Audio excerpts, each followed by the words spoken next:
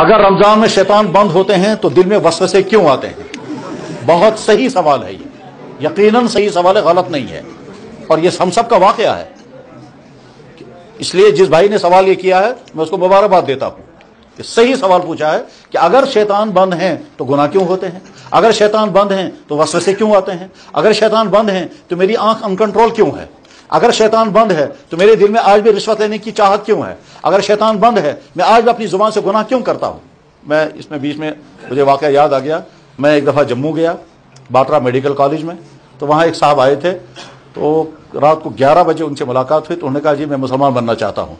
तो मैंने उनसे अर्ज़ किया कि नहीं, अभी आप सोचें। कह लगा, जी, मुझे छः महीने हो गए सोचते हुए। मैंने कहा, नहीं, अभी और सोचो आप। आपको कोई प्रेशर तो नहीं है?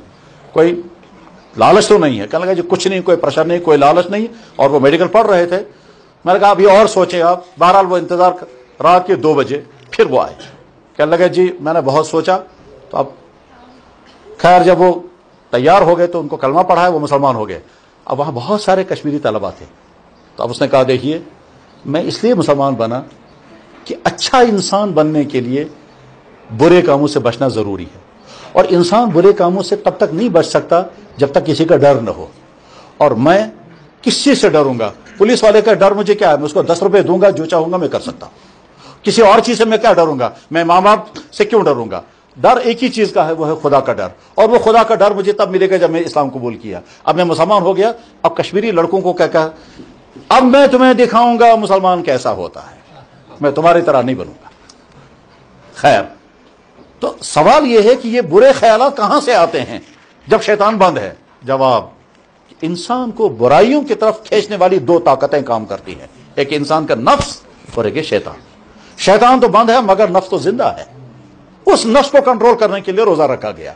तो चूँकि नफ्स हमारे साथ साथ है, वही नफ्स हमें उभारता है गुनाहों के लिए, और रमज़ान जो है उसी नफ्स की ट्रेनिंग कोर्स है। अगर वो नफ्स काबू में आ जाता है तो उसके बाद फिर, चुनाचे, मैं अपने भाई को, जो इसी शहर में है उन्होंने बहुत दिलचस्प बात कही। कह लगे, जी, एक वक्त मेरा वो था कि मैं हर हर अपनी बहन का पीछा पीछा दौड़ने लगता था। और जहाँ कहीं चमकती हुई औरत नज़र आ गई, मैं पीछे दौड़ने लगता था। और मुझे बड़ी बेकरारी होती थी जब तक मैं उसको देखूँगा नहीं। फिर एक वक्त आया कि मुझे दिल में ख्याल आने लगा, ये गुना है। फिर एक वक्त आया, अपने आप को मैं समझाने लगा, अपने आप को बचाओ। मगर मैं बचा नहीं पाता था। कह लगा, फिर एक वक्त आया कि मैं अपने आप को थोड़ा थोड़ा बचा लेता था और कभी कभी गुनाह हो जाता था। फिर एक वक्त आया कि मैंने मुकम्मल तौर पर बचाने लगा। कहते, आज मेरी हालत यह है। आज मेरी हालत यह है। अब जुमला उसका देखिए। कहते, आज मेरी हालत यह है कि मैं नज़र से कौन जैन बराबर। मेरी नज़र में आ और खातून और पत्थर दोनों बराबर हैं। तो मुझे कोई फ़र्क नहीं पड़ता है ये मिजाज पैदा हो जाए। मैं नज़र में से कौन तजैन शानदार जुमला बोला। मैंने कहा, यार, ये तो तुमने तारीखी जुमला बोला है और याद रखने के काबिल है और साथ में काफिया भी जोड़ा है।